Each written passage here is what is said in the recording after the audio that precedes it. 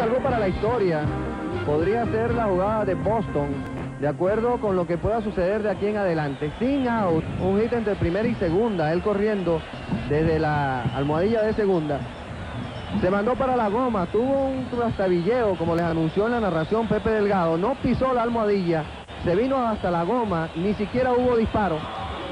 Y en la apelación, Musulungo, que estaba en su trabajo, demostrando una vez más la gran honestidad que tienen todos los árbitros, y que cuando se equivocan es por ser humanos, le metió el out.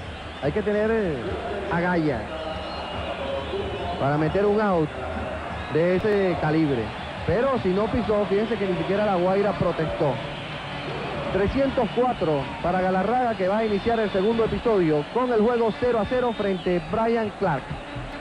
Galarraga, primer try para Andrés, cuarto, quinto y sexto. Y en la observación que hicimos de la apelación en tercera hay que darle mucho crédito a nuestro compañero John Carrillo.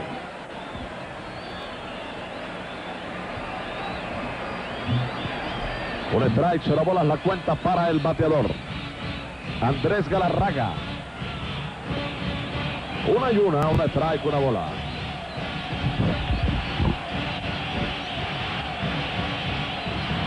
A la defensiva Galarraga en el infield hit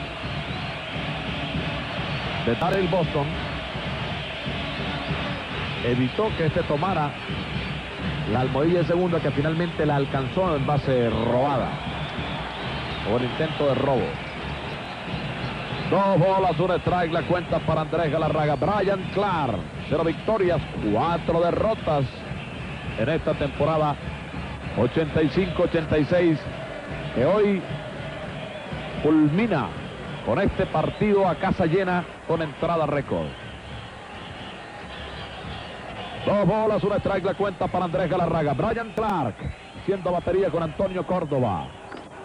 Fuerte por segunda, Carrasco bien colocado. Pedrique en la inicial, 4-3 el lado, fallando Galarraga por la combinación musical. El 4 al 3. Esto es lo que son las situaciones del juego, cuando uno tiene que especular con situaciones que pudieron haber sido o no pudieron haber sido, pero que pudo haber, pudieron haber sido. Ese inning pudo haber sido grandísimo para la Guaira, de no haber sido por ese error mental de no pisar la tercera base. Puesto que el roletazo, si no hubiera salido, si con hombre en primera y tercera no sabemos si salía el robo, el corredor, se, se echaban batalla y corrido, y ese rol imposiblemente pasaba. Sí. Y no había ningún out por ninguna parte. Pero eso es el béisbol. Y el Caracas allí aprovechó con muy buen tino. Observaron cuando Boston pasó sin pisar la tercera.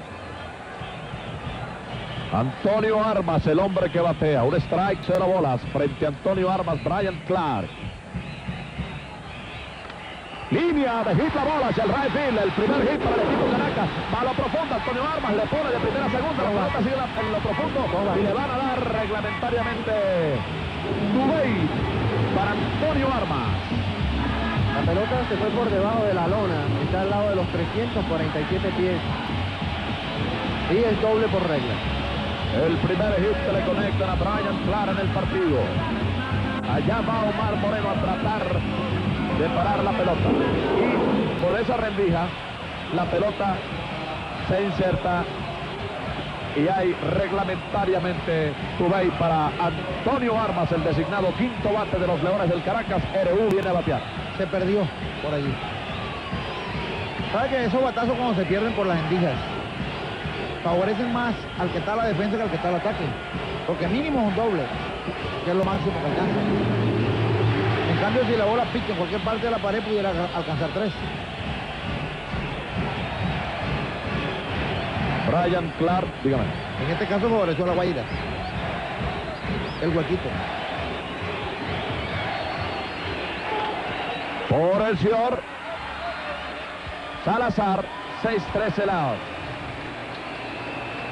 Hizo algunos gestos allí, Antonio, para tratar de ver si podía confundir a Argenis. Y ahora están conversando, charlando animadamente en segunda base. Bueno, anzuatiguense los dos de origen. A pesar de que Argenis se ha criado en Barinas.